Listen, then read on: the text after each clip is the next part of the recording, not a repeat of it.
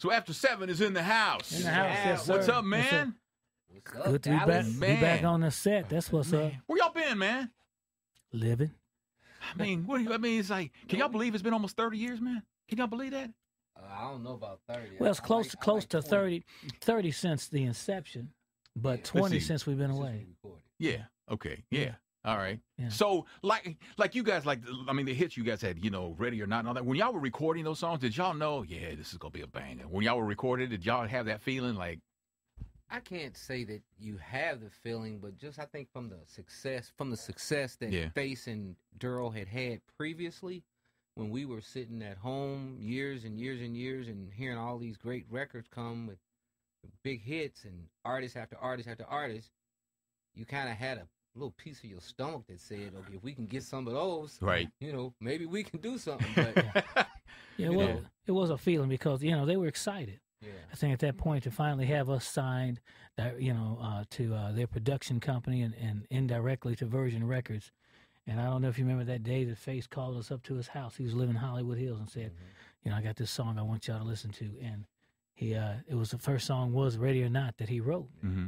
And uh, it was some, felt like something special. Yeah, Went out the camera view, baby. Not this way. no. Yeah. So yeah. So it was. Uh, it felt like it was going to be something special. you Yeah. I mean, because like, I, I just always imagine that, like recording a, you know, recording a song that's as epic as, you know, I mean, you guys had like a lot of them, man, you know, but it's like, you had to have a like in your gut. You had to know this one right here is gonna be special, y'all.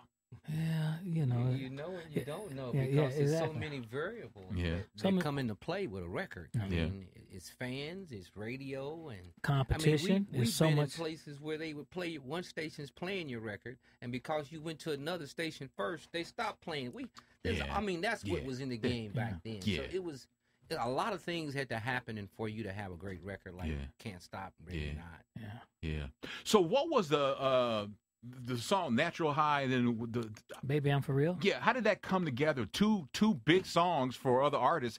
How did y'all get that to how did y'all get that to work? Who whose vision was that? That was a Daryl Simmons vision, actually. Yeah. We, uh, we, you know, we always try to look at figuring out what was a song that meant something to us that was a cover song that we could do.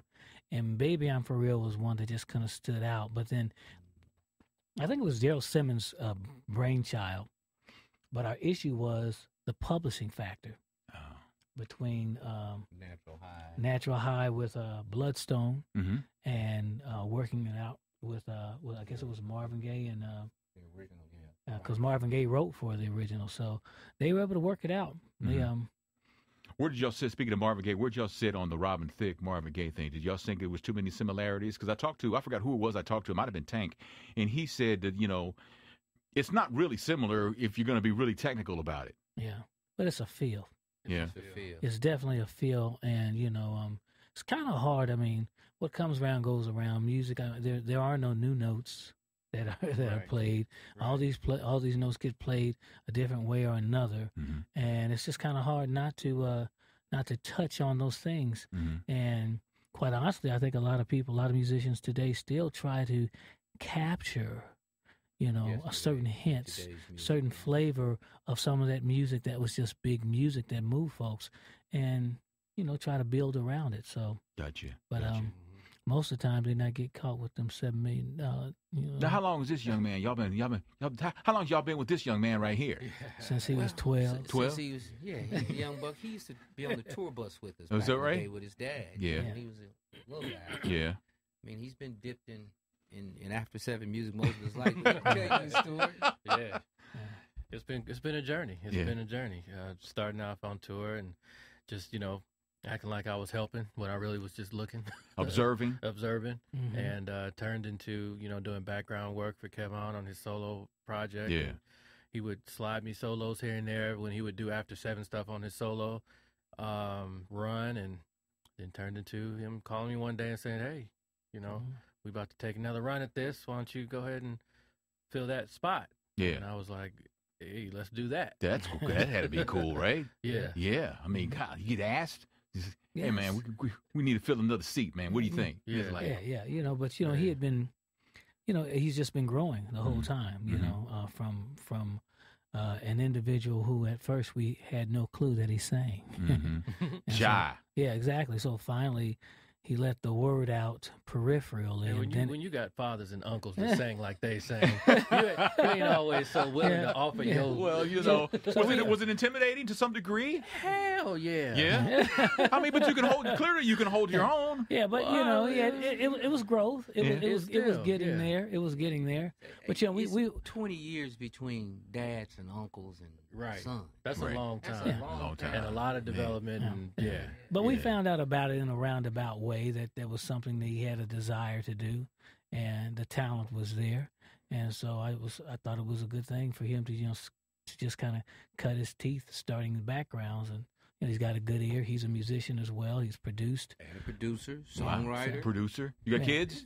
I got a daughter. You're a reproducer? I'm I'm a just saying, you know, it's kind of like That's exactly like- right. That's right. just, just throwing it out there, man. I'm just saying, man. Don't hurt Everybody me. reproduces over Yeah, you here. know. Son.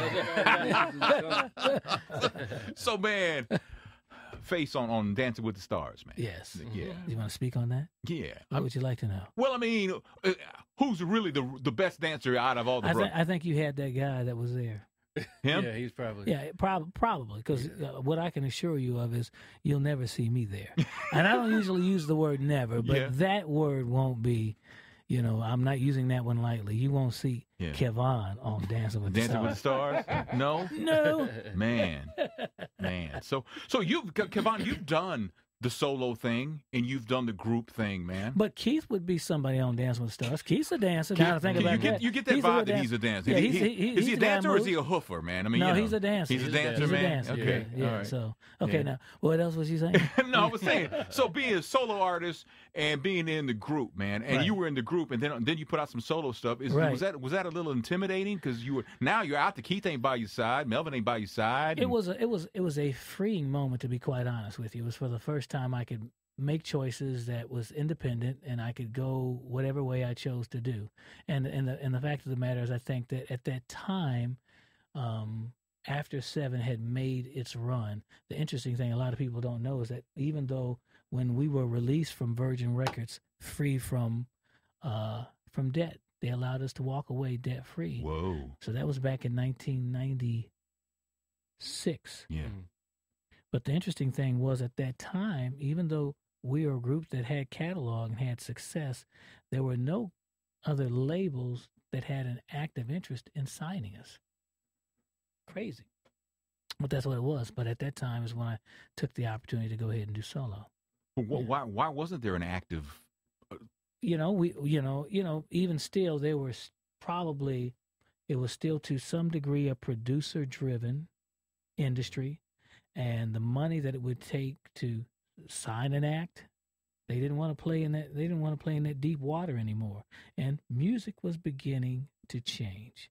So and, i say this point uh in all honesty that as proud as we are of this new album that we have titled timeless and we do believe that this music is timeless, it really works best of all because it's 20 years later from the time. Had we dropped this record in 1996, 97, I don't think that it would have been received in the same manner because people were beginning to, music was evolving and going a different direction.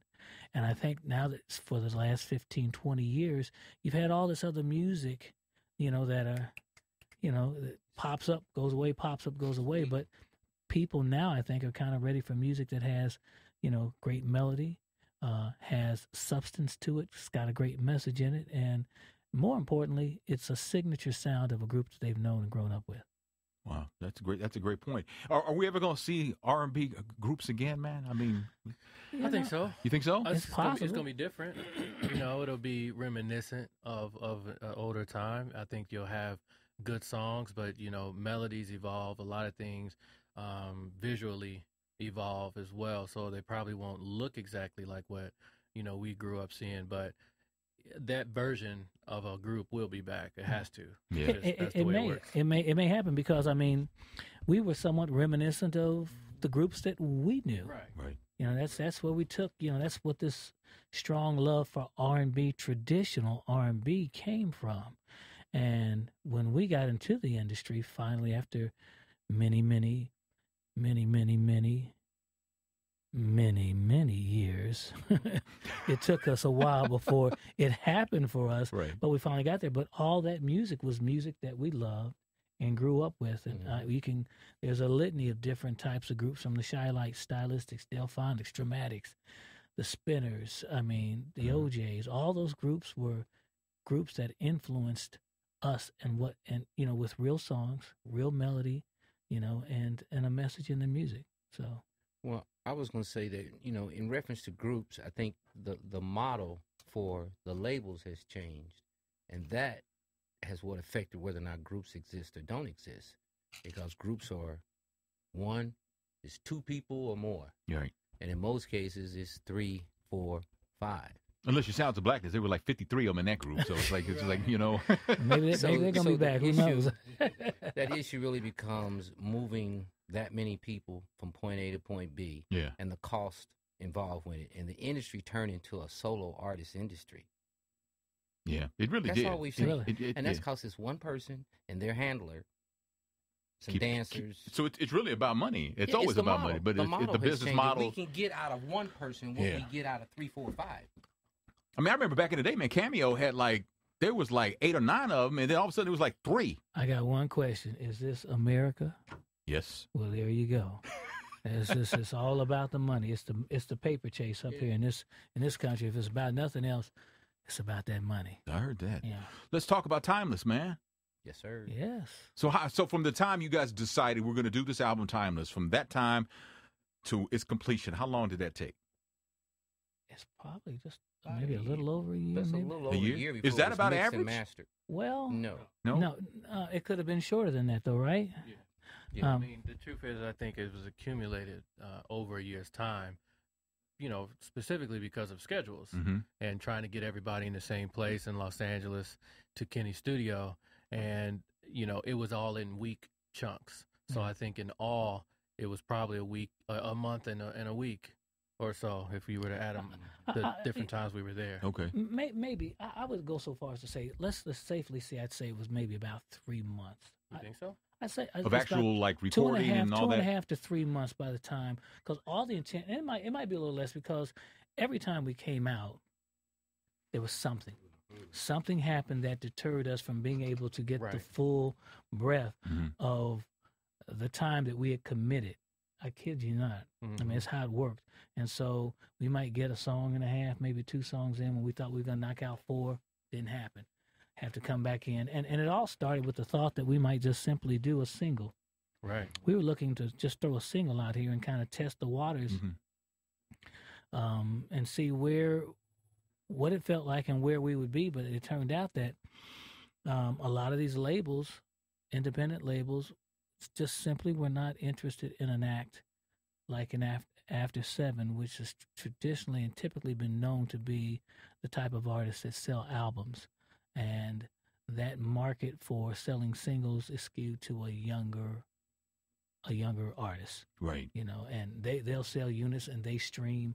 We're not we're not gonna get anything streaming of any significance. So they said if you want to do something with us, or if we're gonna do something with you, you have to do an album. Okay. And we didn't believe them, Oh. so we shopped some more, mm-hmm. and we got told the same thing again and again. So finally, it, it, it dawned on us that if we're gonna do this, we we're gonna have to do a record. So I went back and told Face, I said, only way this is gonna work is if we do a whole record. Wow. And so he said, okay, well, let's roll up our sleeves and see what we can do. Wow. So I, I always ask you guys these questions like this. Like, if it wasn't music, what do you think? How do you think you'd be making your living, You wouldn't want to see me. man? sexual chocolate. Everybody give it up for sexual chocolate. Yeah.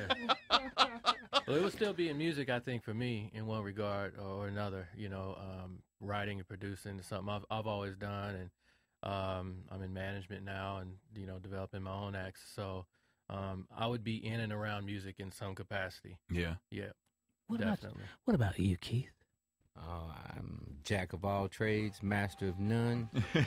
Skills in a mirage of areas, uh, but I, I own a construction company. I've been doing that for about 11 years. okay. Um, kind of created that doing our parts away. Um, but you know, I I kind of do a lot of things, but the main thing is the music and the construction. Okay. All right. Now, what made you get into construction? Well, in high school, I was a A student in wood shop, metal Oh. shop, architectural drawing, mechanical drawing, Yeah. and those skills and attributes kind of stayed with me, even though I never used them because uh, college sent me into business, and I ended up going to Chicago and working for a claims adjusting company. Still wasn't using the stuff that I learned in high school, but once the low came and I had to figure out how to make make it work. right. Um, I started off doing cellular towers. We Really? were- yeah, we were doing, you know, building cellular towers. Um, but the insurance factor was so high, the risk factor involved with it was so high. I kind of stepped away from that and just took the same entity over just into doing construction. Oh, okay. And so it just kind of blossomed from that.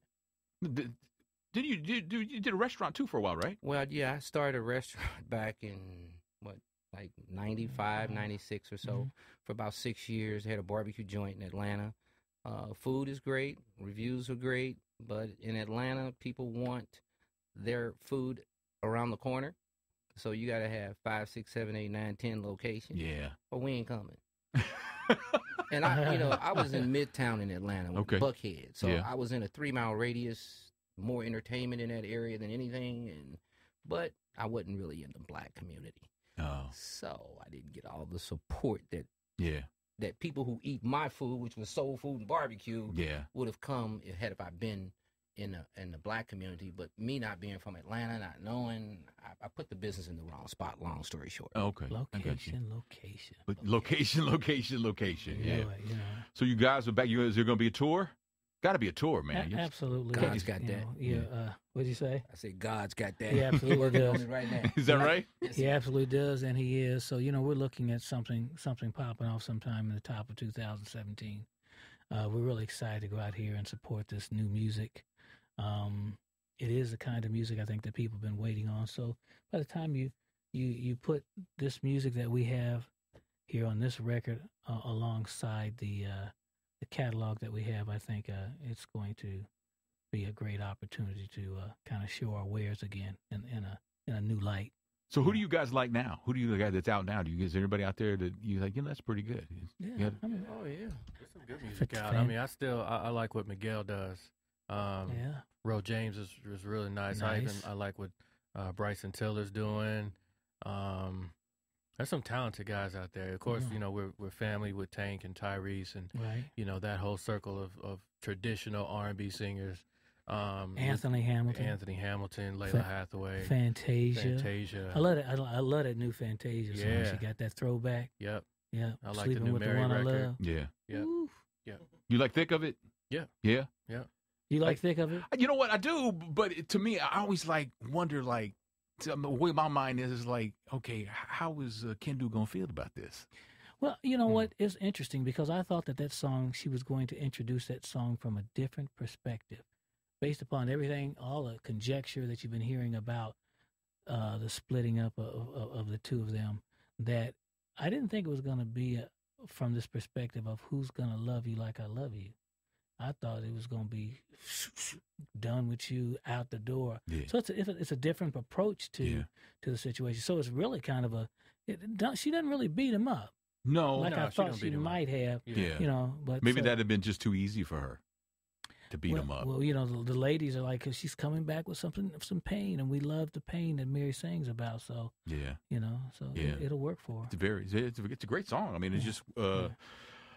I didn't know she was going to address it that soon. Yeah, You know, I mean, just because she announced they were divorced, it doesn't mean it ain't been in the works for a while. We, Right. we're not in that. We're not in the. We're not in that group. We're not. We're not in that circle. We don't know, Right, right. right? You hate to see anything like that happen and stuff like that, man. But you know what's really cool though, and to talk about Babyface for a second, when he and Deion Sanders sat down Mm-hmm. and man to man, Right. you know, Yeah. you can start seeing my ex-wife, our kids, and they and Deion was like, "Yep," and you know, and they just hammered it out. Right. Man, how often does that happen? Yeah, right? right. That Not doesn't happen. You know, I mean, I can remember my ex-wife. You know, the her her, her husband. I remember him and I having. We were always cool, Mm-hmm. and I always thanked him for stepping in for my daughter, Mhm. things like that, right? And when I would go down and visit my mom, you know, he lived in that area and stuff. He would always like call. how you doing, man? Stuff like I mean, we were always like really cool, Mm-hmm. right? And it's like, okay, you know. And then when my ex-wife passed, you know, she like never changed the life insurance, Okay. so the check was in my name, Right. right? And I told him, I said, send me the check, I'll sign it, send it back to you. Yeah. He just looked up. at me, and I was like, dude, that's not my money, man. That's I mean, Yeah. it's, it's in my name, but And that was and- that wasn't intended for me. It's intended exactly. for you now. And, and right. but what what you what you experienced and how you dealt with that is not typical. So it's not a typical thing. Mm-hmm. No. That's Not like that. Yeah. That's I mean, it's just- with it with love. It's- I said you dealt with it with love, and that's what's missing in any and all situations Yeah. is love. If Man. you let the love show up, then what you did is the only thing that you could do. You Yeah. couldn't live with yourself anymore. No, man, that wasn't like I and I told him I said this ain't my money, man. This your money. I said, Yeah. you know, and and and and you know, for a couple years afterwards, we were because they had two sons together. We would Christmas time we would send them a little something, the boys and stuff, right? Right. And and it was always, you know, it was always cool. And so, you you did you ever do anything solo? No, No, no. not you weren't interested in doing anything solo. I've done some stuff gospel, but haven't haven't done anything when I just recorded it. Yeah, hmm and you, and like I'm your dad, right? And you, No. no, do you want to? Um, now you asking some real in-depth questions here. um, yeah, I think at this point in my career, in my What? life, Did you hear that, Keith? you know what I'm saying? You know what I'm Mm, saying? you, man. Got me revealing things, Yeah, man. things. Oprah, I'm start calling you Oprah. Oh, Oprah. oh, I'm Oprah. Right. yeah, I wouldn't mind it, man. I think Yeah. it's in me. Um, I don't know exactly direction wise where I would go because I've got a lot of musical influences and things that I love. I love all music. So, um, Yeah. before I would sit down and really take it seriously, I'd kind of want to map that out. Um, Would you look for the family's blessings as, because as close as you guys are and I, stuff it's like no that? choice. Yeah. Yeah, you got to. Can't Yeah, well- leave home without it. Well, I'm gonna tell you what. I'm no gonna tell you what. Uh, there's a selection on this album. I think it's selection number Mhm. eight. I think it is. Uh-huh. Yeah. Number eight is titled "Everything." You get a chance to hear what he does as a vocalist. Okay. You know, so you you. I- I think uh, if that's a choice uh, and a road that he wants to go down, I think he's very capable. Okay. Yeah, holding his own. Thank you. So, so, so, are, are we, I'm sure we're going to hear more solo stuff from you, man. I mean, it's Well, you know, I, you know, I, I really can't speak on that right now. that would be a Um, uh-huh. See, because um, quite honestly, we didn't know that this record was going to even happen, Mhm. and to to have all of these elements come together in the way that they did, right. that only God could have brought these things together. And I promise you, uh, as my witness, that that is how this record came together. I don't, you know, I can't sit here and honestly say, you know, after this record's done, we're gonna go back in here and record because, quite honestly, I thought that this was it Mhm. this record, and, and I can't say that uh, I'm dead set on that position right now today, but that was the reason why I changed the title because hey, Michael Jackson had the "This Is It," Mhm. and it sounded like well, I can't do that, but it made me think about what kind of music is this? What what is this music? And and um, I think on our third album it was called Reflections. There was no song on that album titled Reflections. How often does that happen? It doesn't happen very No, often, it but but what it, what it does is it's like it speaks to the body of the music. Mhm.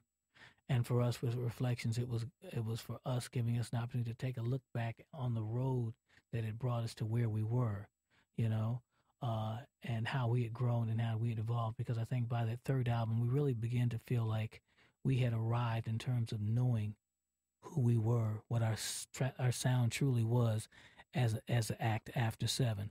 And so to have 20 years go by and everything like that, and we really stopped, and thought about it, and thought, you know what?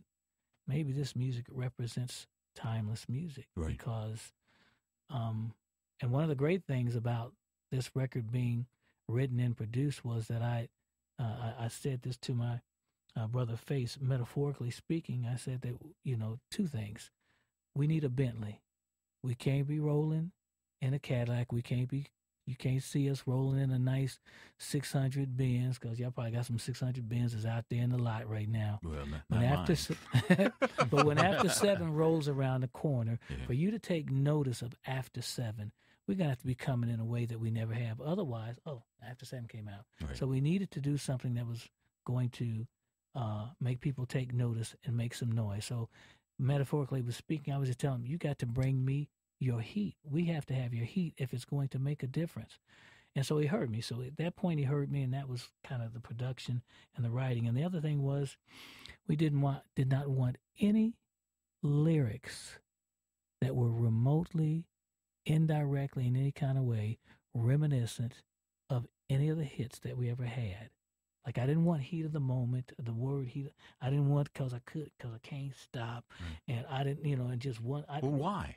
because too often people use that as a hook That's Gotcha. right. to try to take you back to a time and place to and i don't i don't need that I don't want that i want this fresh. I want this new. But the feeling and the idea behind it will take you there. Mhm. but not because of um come and talk to me. I don't i don't we're not trying to slip that in there. I want this to be fresh and new and reminiscent of what it was and the reasons why you fell in love with after seven from the very beginning. Wow. Okay, I got you. So when you complete an album, obviously you don't obviously you don't complete Right. it and then and then you release it the next day. It doesn't work that way. But do you need like take a vacation before you you rear up for promotion and do you, you- take a week off? You You're, couple- spe- you're speaking Spanish. I don't know what He's speaking some, is. some What yesteryear, some vacation? yesteryear. He's like, get back to the grind. Yeah. it, it, it took a lot of painstaking and sacrifices from every individual, from Melvin, Yeah. Jason, myself, and Kevon. Um, it took sacrifices, stopping what you were doing, Right. and we were all working, making a living, and got to stop and go do it. Mhm. And so those are sacrifices. So it, it's not easy, but those are the things you're willing to give up to get to Mhm. do some of the things that you love. I mean, Mhm. we're blessed to have 25 years in the Mhm. music business Mhm. doing something that we love. Yeah. And people work 25 years at a job and hate it. Yeah. Right. Right. So Yeah. I can tell you, we love singing Yeah. because it's something that we just naturally do. It, Mhm. it Yeah. you know, Yeah. it just makes you feel a certain way. But But you know, a lot of Um, people don't understand. They they think your radio your song gets on the radio and you're a star. They have they have no clue. oh I, no, I mean, I'm I've talked Oh. to you know That's- legends like yourself and, and people, you know, they they just like it ain't it, it- and a guy told me one time, you can this is so true in show business and even in life that nothing is like it seems. Oh no, it's true. Nothing. As a Nothing matter of is like fact, when the sounds. song gets on the radio, that's when the work starts. Yeah. That's when you really, really have to. That's when you start losing sleep. That's when you start really putting your grind down because now it's about supporting um, the record. hmm And that's the biggest misconception is that, you know, a lot of times when you're on the independent tip, you know, once I get on the radio, I'm good. You all, all we need is radio play. No, No. that's Hey, where it starts. Yeah. They- and uh, now it's changed so much, right? I mean, it's just not radio anymore. You got the internet thing going. Right. Yeah. So know, so right. how hear how people hear music today is Yeah. 180 degrees different than what it used to be. Right. You know, there's Is there- it better though? Well, I mean, it's it's better. In, it's better in the sense that it, it offers many people numerous options on how and when they choose to listen to music. Once upon a time, you could only only listen to it on radio at the same time.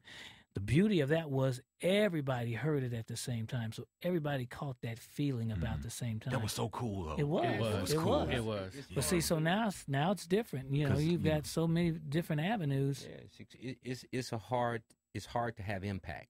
Right. when you're an R&B artist coming back with one lane of traveling adult contemporary, urban adult contemporary, it's difficult to get saturation. So we have to use these other mediums, but the music industry from the R&B side, old school, I don't think can ever bust back through big Yeah. enough to get the mainstreamers Right, right, right, right, right, right. come back and pay attention. But I, mean, I just remember back in the day, man. It used to be like, come, hey, hey, you, you know, I'm being on the radio. From my Mhm. perspective, you'd be like, yo, coming up at four o'clock, I'm gonna play that new after seven, right? Right. And Right. everybody heard it, right? Right, Everybody, exactly. and that was like that was so cool, right? Mhm. And now it, it is splintered off into so many different things. Yeah. Yeah. You know, Different game. Well, I mean, I think from a, a younger perspective, maybe I think it, it, it isn't better, in fact, because you know it diversifies the way that we buy, consume, and listen to music. Um, so there's more opportunity for you to get access to music that maybe didn't have certain budgets in place to get on radio or to get in some of the bigger plays. Um, but at the same time, it is a feeling. It's a, it's an emotion and a moment that when you hear something on the radio and it and it's heard and accepted. yeah, You know what I mean? I don't think you can replace that with anything else. man. Man, I could talk to you guys all night, man. Mhm. But I know, I know y'all hungry. I know. Who told you that? No. Well, because I'm, cause I'm hungry. Yeah, and I saw you at the hungry meeting. but Yeah. man, it is an honor to talk to you guys, man. Really, man. Well, your thank you. your Thank you. your music. I'm surprised people ain't put child support on y'all for having the music in the background when babies were created. Can't do that. Can't do that. Shoot, we need Yeah. somebody paying us. That's right. Yeah, Let the royalties. music play for Yes, you. yes, yes. But good luck with Timeless, man. I Thank mean, you. you know, Thank it's, going to be awesome, and you guys are awesome. You guys are legends. You guys are just you, you guys are everything, man. Yeah, that's Yeah. that's after seven. All right, on the smooth ride home. Thanks for watching.